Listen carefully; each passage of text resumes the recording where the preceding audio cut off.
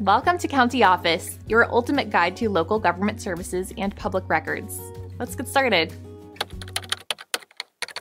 Do immigrants have to pay taxes? And understanding tax obligations is crucial for immigrants in the United States. The U.S. tax system requires individuals, regardless of immigration status, to pay taxes if they earn income within the country. The Internal Revenue Service, IRS, mandates that both documented and undocumented immigrants must file tax returns if they meet the income threshold set by the IRS. And immigrants who work in the U.S. typically use an individual taxpayer identification number, ITIN, if they do not have a Social Security number, SSN. The ITIN allows them to fulfill their tax responsibilities. This number does not provide legal immigration status, but is essential for tax reporting purposes.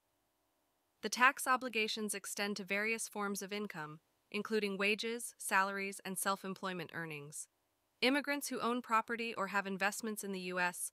must also report and pay taxes on any income derived from these sources.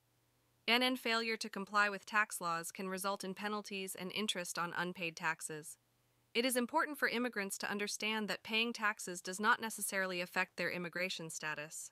However, Compliance with tax laws can be beneficial when applying for immigration benefits.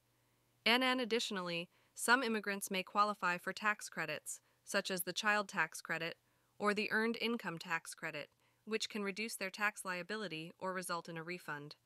These credits are subject to eligibility requirements and may require specific documentation. NN for more detailed information on tax obligations and resources for immigrants, Visiting official IRS resources and consulting with tax professionals is advisable. Understanding and fulfilling tax responsibilities is an essential aspect of living and working in the United States.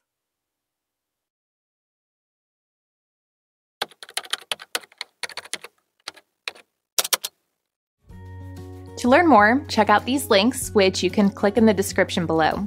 And feel free to comment your questions. We're here to help. Thanks for tuning into our video. Please like and subscribe and leave a comment below. See you in the next video.